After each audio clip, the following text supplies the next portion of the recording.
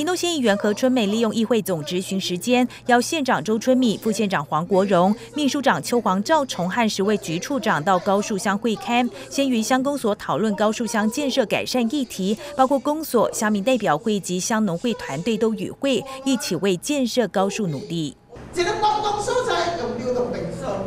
一个公共所在含商店街都无，一个公共所在含停车场都无。何春梅指出，高树乡新丰清水公园已建制清水区、草坪、景观廊道等设施，但却没有公厕，希望向县府争取经费来打造具在地意向的厕所及盥洗室。此外，也请县府协助推动污水下水道、设置农业废弃物暂置场、公立托婴中心，以及于大金瀑布规划光影展。包括水利处、文化处、社会处及环保局长都在会议中报告相关计划的进度。县长周春米也允诺改善高。树建设，擦亮高树品牌，让高树被看见。能够支持的，我们一定责无旁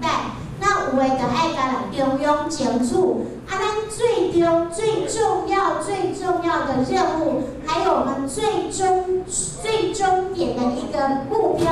就是爱做好做好水做好大家看见。所以今天我马要甲大家有一个共识，我们就是要努力。让高树被看见。在公所讨论结束后，一行人到高树乡新丰清水公园会勘。目前清水区于特定节日公所才会规划开放，曾吸引万人到访。目前急需设置厕所、盥洗室及提升公园安全性，是做排水沟护栏工程。厕所是一个景点，我也是希望说在设计的方面，朝说把高速沟。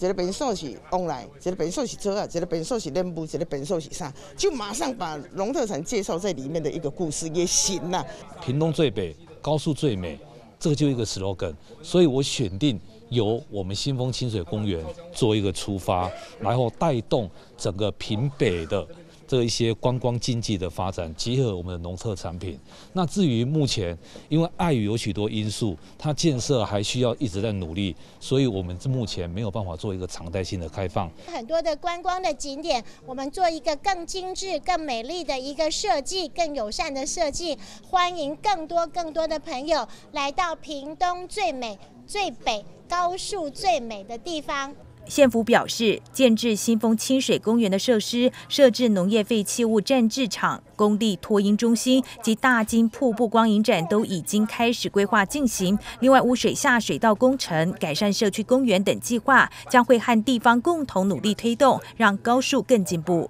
记者张如英、张志豪采访报道。